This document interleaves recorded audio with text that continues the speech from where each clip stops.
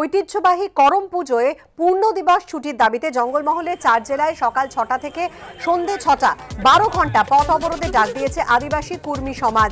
করম পুজো উপলক্ষে ছয়ই সেপ্টেম্বর অর্ধ দিবস ছুটি ঘোষণা করেছে রাজ্য সরকার।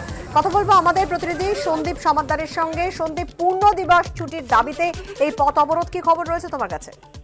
হ্যাঁ দেখো বৃষ্টি, আগামী ছয় সেপ্টেম্বর জঙ্গলমহলে ঐতিহ্যবাহী উৎসব করম পুজো দিবস উপলক্ষে পূর্ণ দিবস সরকারি ছুটির দাবিতে আজ জঙ্গলমহল, পুরুলিয়া, বাঁকুড়া, ঝাড়গ্রাম এবং পশ্চিম মেদিনীপুরে আদিবাসী কর্মী সহ পথ অবরোধের ডাক দেয়। এদিন অবরোধের জেরে নাকাল হয় সাধারণ মানুষজন এবং পুরুলিয়া, জামশেদপুর বত্রিশ নম্বর জাতীয় সড়ক সকাল থেকে অবরোধ করে। তার ফলে প্রচণ্ড গাড়ির যানজট সেখানে দাঁড়িয়ে পড়ে এবং নিত্যযাত্রী থেকে সাধারণ মানুষ প্রচণ্ড ভোগান্তির মধ্যে পড়ে।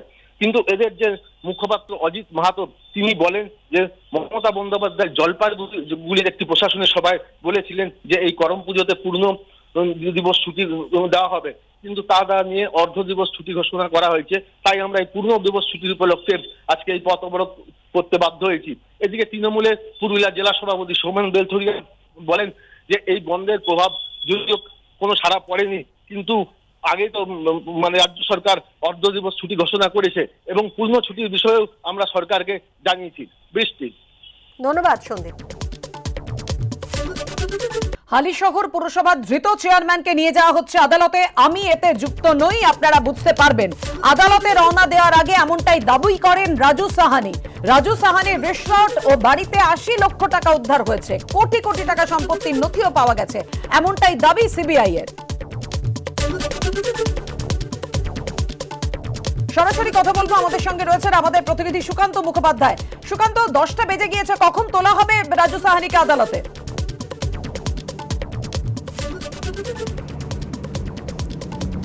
দেখো, এদিন আটটার কিছু পরে রাজু সাহানিকে সিজিও কমপ্লেক্স থেকে বের করা হয় এবং এই মুহূর্তে গাড়ি আসানসোল কোর্টের উদ্দেশ্যে যাচ্ছে। রাজু সাহানিকে আসানসোল কোর্টে সিবিআই যে বিশেষ আদালত রয়েছে সেখানে তাকে তোলা হবে।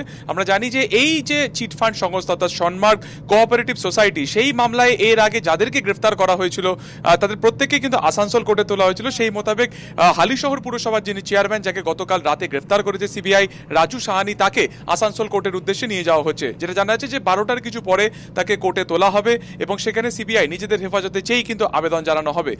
যেটা জানা যাচ্ছে যে সানমার্ক কোঅপারেটিভ সোসাইটি, এই যে চিটফান্ড সংস্থা, যার বিরুদ্ধে তদন্তে নেমেছিল সিবিআই, এই ঘটনাতে এর আগেও একাধিক গ্রেফতারি হয়েছিল এবং সেই গ্রেফতারি প্রসঙ্গে এবং এই চিটফান্ড সংস্থার যিনি কর্ণধার, এদের প্রত্যেককে জিজ্ঞাসাবাদ করে এবং তথ্য যা পাওয়া গেছে, সেখান থেকে জানা গেছে যে বিভিন্ন সময় এই রাজু সাহানির মারফত চিটফান্ড সংস্থাকে বিভিন্নভাবে সুযোগ করে দেওয়া হয়েছিল কাজে, বিভিন্ন কাজের সুযোগ সুবিধা করে দেওয়া হয়েছিল এবং এই কারণে তিনি অন্যতম বেনিফিশিয়ারি অর্থাৎ এই চিটফান্ড সংস্থা থেকে সরাসরি টাকা নগদে যেত রাজু সাহানির কাছে।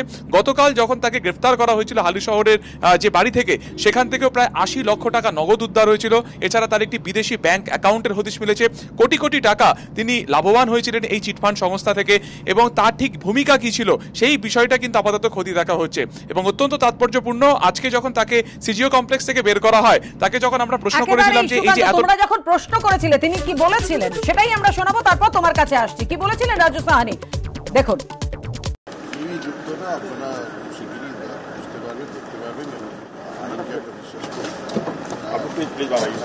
আপনার আপনার বাড়ি থেকে টাকা টাকা আপনার ক্যাশ টাকা কার ছিল? লাইসেন্স পাওয়া যায়নি বলে জানা যাচ্ছে। কেন ভুল ইনফরমেশন কেন? ছবি দেখা গেছে পিস্তল। আপনার পিস্তলের বাইরে আপনার পিস্তল আমরা কথা বলব আমাদের প্রতিনিধি সুকান্ত মুখোপাধ্যায়ের সঙ্গে। সুকান্ত, আমরা শুনলাম রাজু সাহানি কি বললেন? তুমি যদি আরও একটু বিস্তারিত জানাও। একেবারে তোমাদের পরপর প্রশ্নের উত্তর তিনি কীভাবে দেন?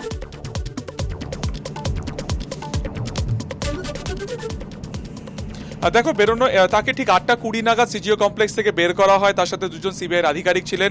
দুটি গাড়িতে এই আসানসোল কোর্টের উদ্দেশ্যে এই মুহূর্তে যাচ্ছে গাড়ি। প্রথম গাড়িতে বসে আছেন রাজু সাহানি এবং দ্বিতীয় গাড়িতে রয়েছে সিআরপিএফ এর জওয়ান। তাকে যখন আমরা প্রশ্ন করি, তিনি একেবারে নির্লিপ্ত ছিলেন। তিনি কোনো রকম প্রশ্নের উত্তর দিতে চাননি। তিনি প্রথম কথায় যেটা বলেছিলেন, যে এই গ্রেফতারি প্রসঙ্গে তিনি বলেছিলেন যে ভবিষ্যতেই বলবে কি হয়েছে হয়েছে। আমি কিছু জানি না এই বিষয়।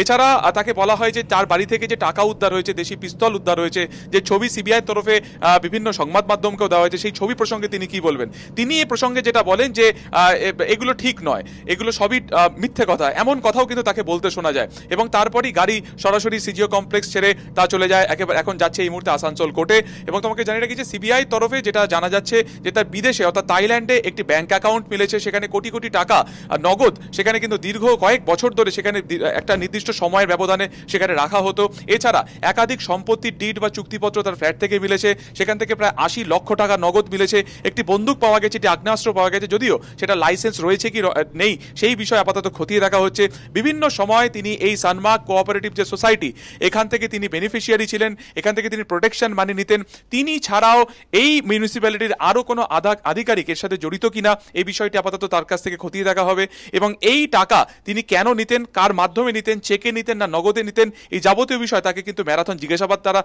গতকাল রাতেও করেছেন। আজকে আসানসোল কোর্টে তোলা হবে আর কিছুক্ষণের মধ্যে বারোটার কিছু পরে যেটা তোমাকে বললাম এবং তার কাছ থেকে জানতে চাওয়া হবে যে এই টাকা তিনি কেন নিয়েছেন এবং নিজেদের হেফাজতে চেয়ে কিন্তু আসানসোল আদালতে আজকে আবেদন জানাবে এমনটা কিন্তু সিবিআই সূত্রে একেবারে, এই টাকার উৎস সম্পর্কে অবশ্যই তদন্তে কি উঠে আসে আমাদের সেদিকে নজর থাকবে। ধন্যবাদ এই মুহূর্তে তোমায়।